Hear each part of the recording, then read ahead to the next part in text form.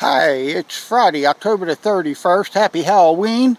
And I'm over at Forest for our final update on the uh, uh, on uh, 891 site here.